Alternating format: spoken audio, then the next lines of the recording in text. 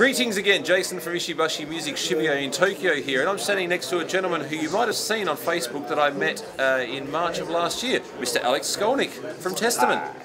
How are you, Alex? Hello, konnichiwa. Konnichiwa. Nice to see you again, Nice mate. to see you. Um, Alex, I actually have uh, one of Alex, personally I own one of Alex's old former unofficial signature Ibanez models, the 540p2, and uh, I showed that to you. That kind of freaked you out when you saw that. Yeah, I don't see much, much of those anymore. Yeah, But now you're with ESP? Yeah, this has worked out great. Um, these are the, the guitars. There's um, ESP and the LTD version. Yep. Uh, I play them both, Great. and um, it's uh, it's worked out really well. It's a little bit of uh, my, you know, what what I like about my favorite classic guitars, but a little easier to play. Yeah, the Silver Burst is pretty cool. I won't mention where that colour came from, but that's a cool colour. Where does it come from? Gibson.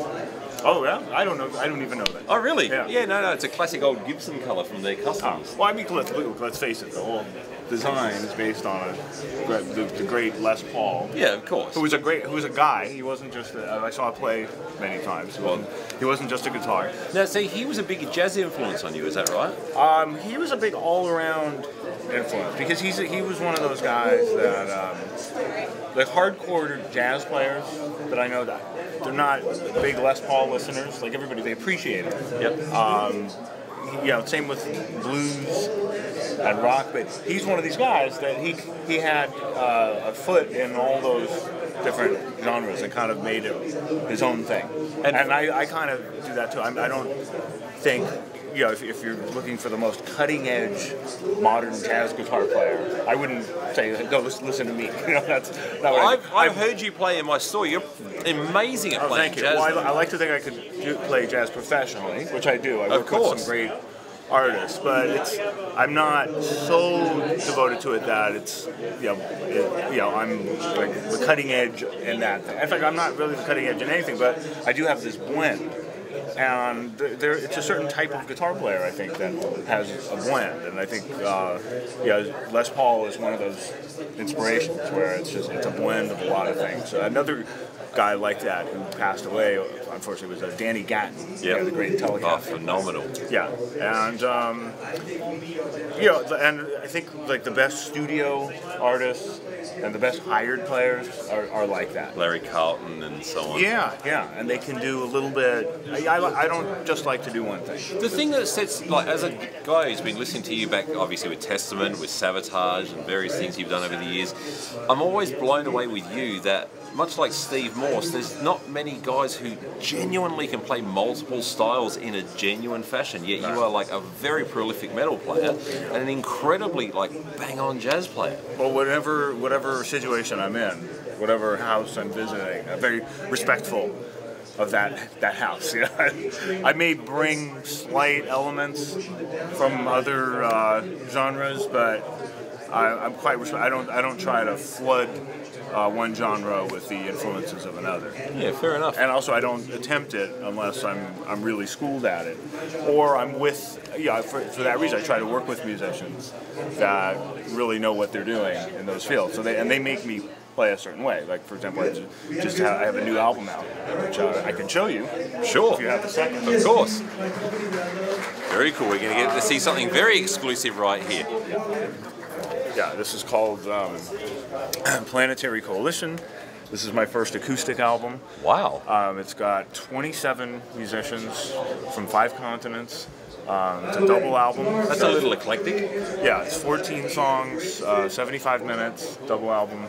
Um, Let's hear it for Frank And-. Come on, and it's got a That's awesome. Frank Bello. anyway, so for this, I've, I've got, a, for example, I have a Cuban song, and I have uh, El Negro Hernandez and his daughter Jennifer Hernandez on that. Uh, I have a song uh, inspired by Mexico. I have Rodrigo y Gabriela. And then I have Wow. a song, um, a traditional Chinese piece. And I have this wonderful uh, pipa player, Yihan Chen. We do a duet. I have a piece from Africa with a great uh, kora player named Yacouba Sissoko. Um, I have a Turkish piece with a Kanun player. Kanun. So I'm, I'm working with these artists, and these. And when you play with people like this, um, it makes you play a certain way. And uh, another influence as far as you know doing this type of thing is uh, Ry Cooder. And Ry Cooder, somebody I, I don't I don't necessarily transcribe his licks. Sure. But he'll do an album with um, This you know, great Indian artists. He'll do an album. With, yeah, his, he's very famous for Oh, Buena- Ry Cooder is insane. and Buena Vista Social Club. Yeah. But he also worked with Linda Ronstadt in the 70s, you know, so it's like, and, and all this great blues stuff. Did you know? So anyway, this is um, this is a, just a good example of that, of working with Definitely going to you know, Eclectic players of different and having and being affected by that. And obviously, when I play with Testament, these guys can play metal. These guys live, breathe, and eat metal. yeah, of course. They are the sort of, you know, tattooed, vest wearing guys. I love these guys. These are my brothers, but I've always been a little different. I'm, but it, that I think it works in that sense. So, so whatever situ- situation I'm in, whether it's the world situation, the uh, the metal situation, the jazz, I, yeah, I work with players that are very authentic. It's great that you can do it all. Thank you. I was going to mention with Ry Cooder, did you know that he was actually Ralph Macchio's um, trainer in the Crossroads movie? That's pretty cool. Yeah. Um, so, And he's playing all those those blues licks. Is all that's that's him. Ry Yeah, it's not Ralph Macchio. well, I mean, but other- we'd all be transcribing Ralph Macchio if That'd that be was bizarre, really, wouldn't yeah. it? So, any plans of coming back to Japan or down to my home country of Australia, or Ed, who's holding the camera for us from uh, from New Zealand? Any chance of getting down to any of our countries anytime soon to get on tour that you know of? Uh, not that I know of. It'll happen. You know, you just you wait for the phone call or the, the email from the booking agent. yep. Um, right now, uh, there's there's a U.S. tour planned with Testament. Um, I'm doing a lot of stuff in New York with uh, Planetary Coalition, a seven uh, seven unit version Wow. of this. And uh, the- are you selling these today? I am. I'm going to buy one off of you. Oh, that'd be great. I'm serious. I'm going to buy one. That'd be great. And you can buy these at uh, planetarycoalition.com.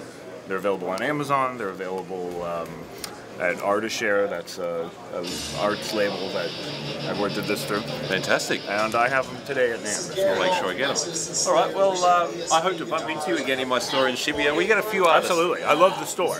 I mean, mean to go back. And I saw the, uh, I saw Ru- Rush posted something about uh, the store. Yeah, Alex Lifeson dropped in. And uh, yeah, so I, I clicked on it, and I'm like, you know, I want, I went to that, and then there's you. I'm like, I, I remember that guy. That's the guy that filmed me. I was, I, yeah, I wish I'd gone the same day. Yeah, well, actually, you know, the funny thing is, you were in, I think it was March 18th or something, and he was in on April 4th, so you only missed him by like two weeks. Really, just missed him. And the funny thing is, he wasn't on uh, tour, he, Yeah, was he was just, just on visiting. holiday. Yeah. Yeah. So cool. So, amazing. An unbelievable world of coincidences. Thank you for your time, Mr. Scully. Absolutely, Always Jason. good to see you. Thank you. Thank you. Jason from Ishibashi Music, rock on here at the 2015 NAMM show with Mr. Alex Skolnick.